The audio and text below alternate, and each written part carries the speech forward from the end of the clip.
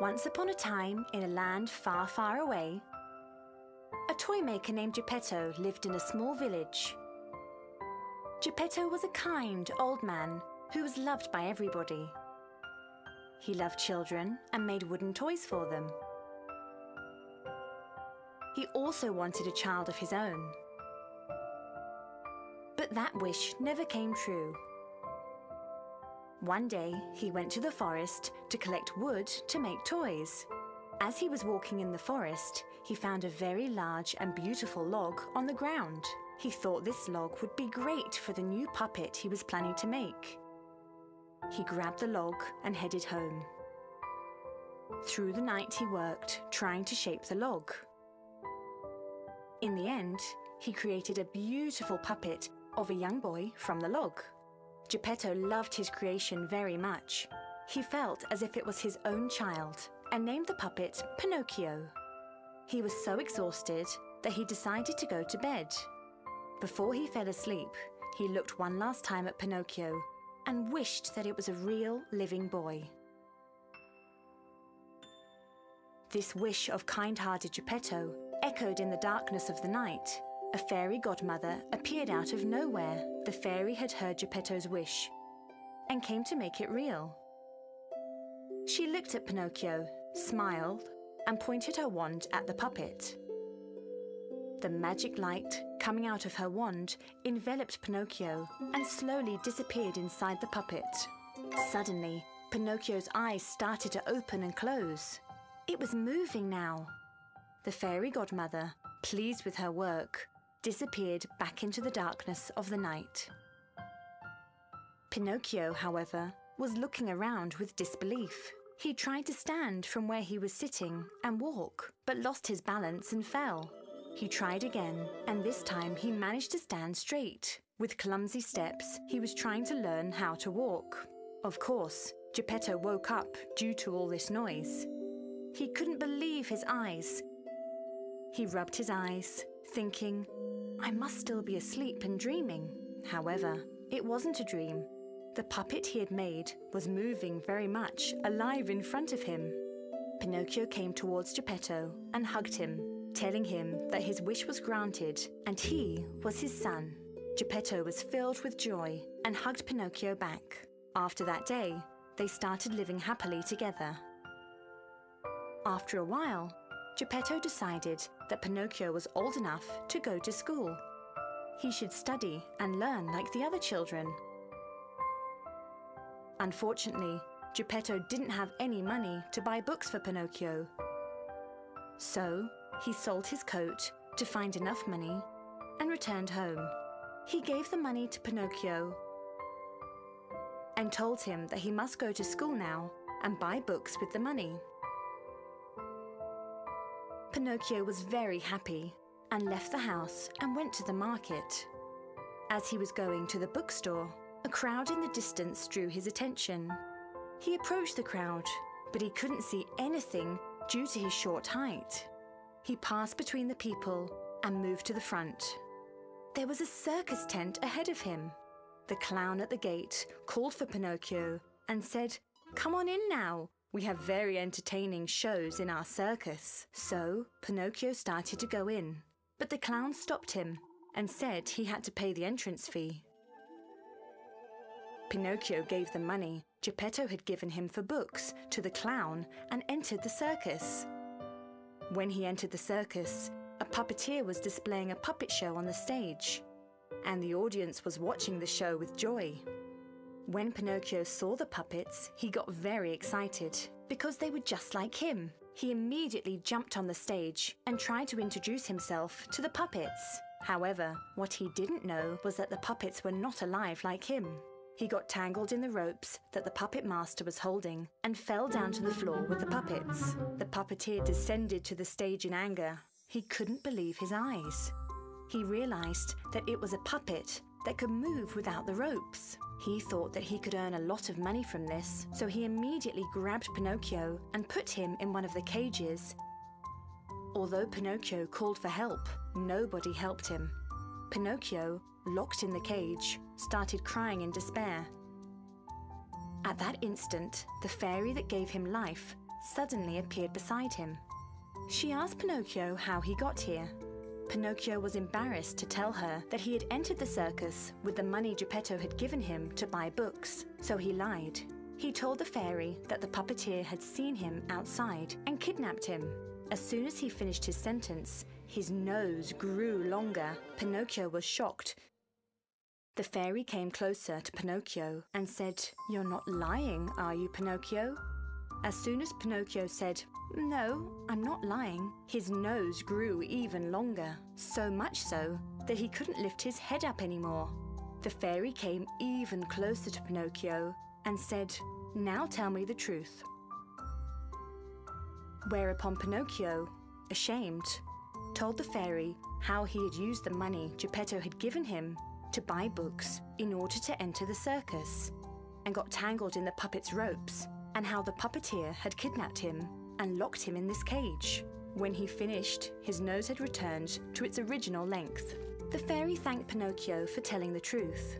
She said, I will rescue you from this place, and I will also give you the money Geppetto had given you to buy the book. But this time, you must go directly to the bookstore, buy your books, and head for school. Then she waved her wand, and the door of the cage opened. Pinocchio got out of the cage and put his hand in his pocket. The money Geppetto had given him for the books was there. He thanked the fairy, promising that he would immediately set out for the bookstore. As he was walking on the road, he ran into a fox. The fox had seen Pinocchio from far away and understood that he was very naive. He interrupted Pinocchio and asked him where he was going. Pinocchio showed the fox the money in his pocket and told him that he was going to buy books and go to school. The cunning fox quickly devised a plan and thought about tricking Pinocchio and taking his money. He told Pinocchio that there were money fields a little further down the road and if Pinocchio buried his money there, it would grow and become a money tree, and he could collect money from the tree anytime he wanted. Poor naive Pinocchio was instantly fooled by the fox's words and started following the fox. After walking for a while, the fox said, This is the place. You can bury the money now. Pinocchio quickly dug a small hole and put all of his money inside this hole and covered it. So, what will happen now, Mr. Fox? When will the tree come out? He asked the fox. The fox said, It doesn't grow that fast. There are other money trees in the vicinity. You can collect money from them too. Pinocchio believed the fox's words and walked away to find the money trees. The fox thought, how naive. And as soon as Pinocchio was away, he dug the ground and retrieved the money Pinocchio had buried, put the money in his pocket, and ran away. Meanwhile, Pinocchio walked around the vicinity, but he couldn't see any tree houses. With frustration, he thought, I will go back to the fox and see my own money tree. When he arrived where he had buried his money, he couldn't see the fox there. However, he noticed that the hole he had buried had been dug open. At that moment, he understood that the fox had tricked him. He was very sad.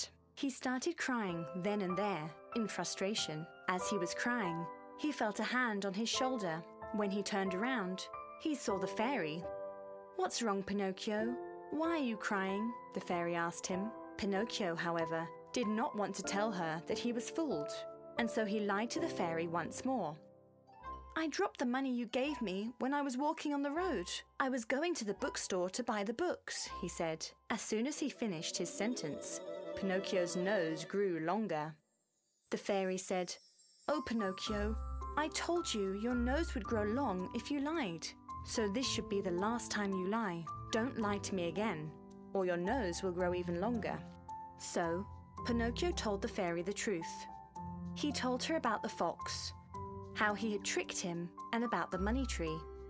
In return, the fairy told Pinocchio not to talk to strangers. It could have been much worse.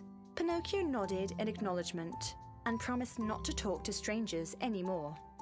So, the fairy gave Pinocchio the money he had lost to the fox and said, Now, listen to my words and go directly to the bookstore. And Pinocchio did what she said. He went to the bookstore, bought the books, and returned home. As soon as he arrived home, Pinocchio called out for Geppetto.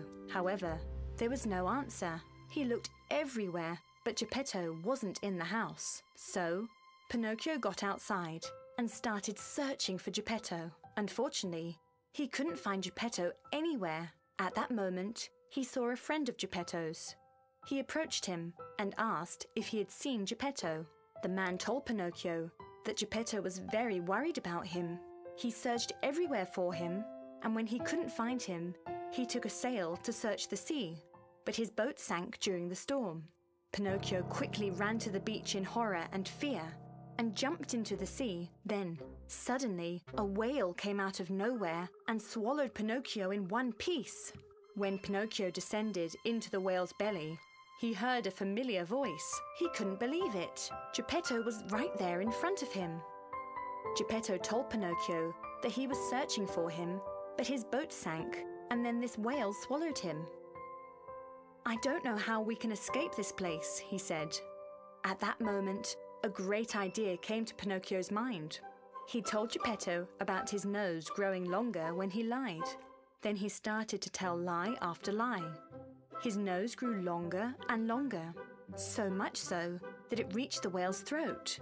The whale, his throat tickling because of Pinocchio's nose, couldn't help himself, but suddenly started to throw up and spitted Pinocchio and his father out of its mouth. The pair, having escaped the whale's belly quickly, swam and arrived at the beach. After that day, Pinocchio never lied again, and he never skipped school.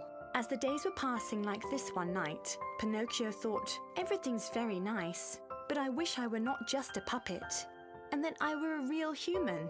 At that moment, the fairy that had given him life appeared out of the night. She said, Pinocchio, you've become a good boy. You never skip school, and you always listen to Geppetto. For this reason, I have a present for you. And waved her wand at Pinocchio. A beam of light surrounded Pinocchio. When the light disappeared, Pinocchio had become a real, living boy. He thanked the fairy and, with excitement, ran to Geppetto's side. Geppetto was very happy to see Pinocchio had become a real human. His only wish had now completely come true. The boy he had always wanted was in front of him, alive. The pair hugged each other with joy, and they lived happily ever after. Pinocchio always remained a good boy, and even though he had become human, he never lied again.